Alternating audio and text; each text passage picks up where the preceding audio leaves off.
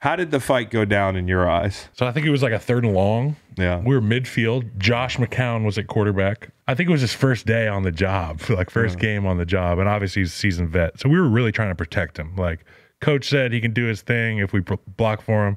So we were getting it done. Well, we didn't block for him one time. There was a strip sack, maybe Robert like strip sack or Probably something Quinny. Like backside. Nobody saw it coming, and the ball shot out 15 yards on the ground behind the quarterback. And I turned around, and obviously, I take off running towards the ball. And of course, standing next to me was William Hayes, who also saw the same thing I did, and he took off towards the football. And he said, "Well, I'm just going to eliminate one of their guys now." You know, which was me. He's going to block me It's a heady play. which is a heady play. Now there's a there's a kosher way to do it, and there's a, you know not. For an O lineman, you really have a lot of rules about the rules of engagement. There's halal and there's not halal. And he, that day, he did some stuff that was against the book, Not halal. and he hit me in the back. Yeah. and and uh, I can't remember if I went immediately down or if I stumbled and caught myself and turned around, but he hit. It was a hit and run. It was a hit Well, that's run. what will. So he hit me and he took off running towards the Yeah, football. yeah. Little did he know Yeah, I could run pretty run good. football. and I sprinted and I caught up to him. And before I like, you know, he didn't see me. I took my left hand on his left shoulder and peeled him back while he was running. So he was turned towards me. And now we're chest to chest moving at like eight miles an hour. And I just buried him. And I knew I couldn't just punch and stuff, right? You Yeah. can't just throw No, punches. So I'm like, I'm here now. What do I do? I have to do something, making. So I just go elbow digs to the throat. Elbow, elbow Yeah. digs, elbow. Like I'm uh-huh. kneading dough. Just He was just. and he's on the ground. I'm on top of him. So Chris sees this immediately. Probably when I first grabbed William and I started chasing him, Chris sprinted from the sideline, threw his helmet on, weaved through his own players, which is a fine. Yeah. We'll talk about that later Pay that.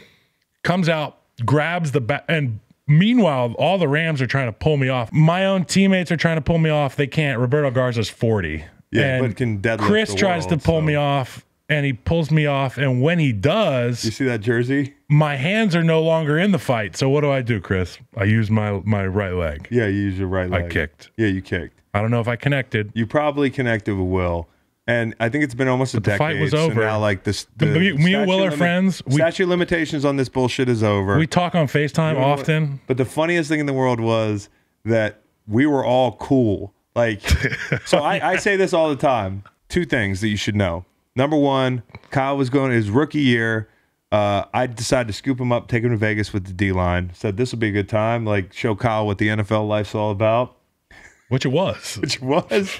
And uh, coincidentally, he carried me out of a party that day. Like I was on a stretcher. I woke up at one in the morning in Vegas, and and and Kyle was staying with me at the Wynn, coincidentally. And I said, Kyle, where are we going tonight? The lights were all off, the whole thing. Chris, it's one in the morning. Go back to bed. You passed out since 3 p.m.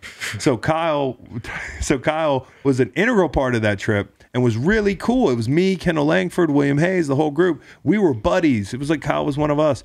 And the next time we saw each other, it just went south and it ended in William Hayes almost dying, dude. And so I thought that was really interesting, and also the fact that there were 50 people in town, and I had to entertain all these motherfuckers after the game. We had the On like, Thanksgiving. It was like a wedding, okay? Like all the long boys get married, all that stuff. Congratulations, by the way, Kyle. This was like the fourth wedding. It was Kyle coming to play Chris in St. Louis his rookie year. Uh, Let's get everybody we know, invite him to St. Louis, and then after Kyle, by the grace of God, doesn't get ejected, I have to sit around the Ritz Carlton with a bunch of mopey motherfuckers wondering if Kyle's tearing up the team plane. But before before any of this, I think there was a lot of laughs on the team playing, honestly. But Good. but after the play, you know, we're all separated. I'm still on the field. I don't Yeah. know how they haven't pulled me off the yeah, field. well, Chris is looking across the line of scrimmage at me. He's like, "You dumb motherfucker." He's like, "That FedEx is coming," which means you're gonna get fined a lot of money. And I didn't know what the FedEx meant at first. I was like, "This guy's sending me a bomb or what?" Like,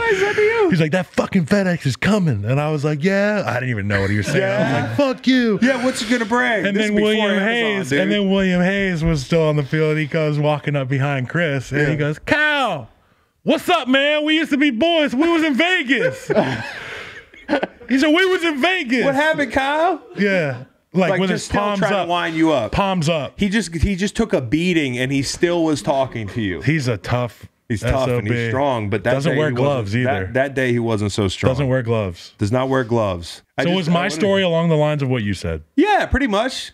Yeah, I didn't embellish it. I just said Kyle lost. He went shark eyes, and um, and uh, I had to go rescue him out of the pool. Dude, Um, so you're welcome. I will bill you for that because I got fined for coming off the sideline. I think it was a million dollars. Listen to the full podcast on Spotify, Apple Podcasts, and other podcast streaming platforms. Uh, wherever you want to get the podcast, you can get the podcast. Pretty simple. New episodes every Monday, Wednesday, and Friday. Don't forget to like and subscribe for more content. Podcasts get pretty wild. This is real tame.